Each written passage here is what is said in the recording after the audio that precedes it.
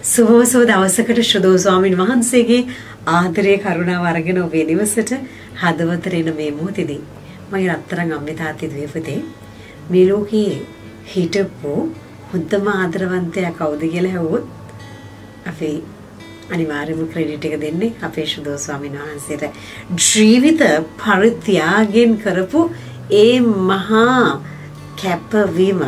ජීවිතේ පූජාවක් කරලා අනිත් අයව ජීවත් කරා. නිදහස අපිට ලබලා දුන්නා. ඉතින් මගේ රත්තරන් අම්මේ තාත්තේ දීපතේ අපිට එහෙමනම් ආදර්ශයට ගන්නට අවශ්‍යයි නම් කාව හරි ආදරේ නිර්මාතෘ හැටියට ආදරය කරන්න හොඳ මොඩල් එක හැටියට අපිට කාගෙදී හරි බලන්නට ඕන බලන්නට ඕනේ ශුදෝ ස්වාමීන් වහන්සේ දිහාමයි.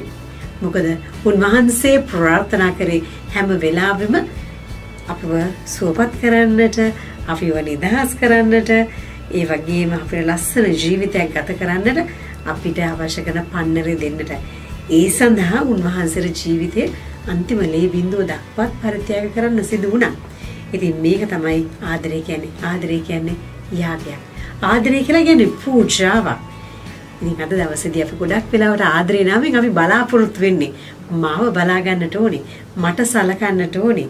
මට විශ් කරන්නට ඕනි මට තෑගි දෙන්නට ඕනි මම මම මම මම කියලා කියලා මේ මම කියන කෙනා ගැන ලොකු ඊගෝ එකක් තියාගෙන අපි ජීවත් වෙනවා. ඉතින් ජේසු කරේ මමත් මම කියන පුද්ගලයාව අමතක කරලා මුළු මිනිස් සංහතිය වෙනම ජීවත් වෙන්න පටන් ගත්තා.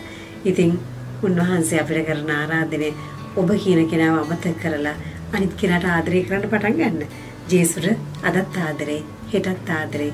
ඒ ගෞරවය නැති වෙන්නේ වගේම ඔබත් එවැනි පූජාවක් හැටියට ඔබ යාග වෙද්දී ආදරේ පුදද්දී ඔබ අනිත් කෙනාගේ මතකයේ නොමැකෙන මතක සටහනක් වෙලා හැමදාම ආදරේ ලැබෙන පුද්ගලෙක් බවට පත් වෙනවා. ජයම ජය රදින අපිත් එක්ක ආයිබෝන් සෙත්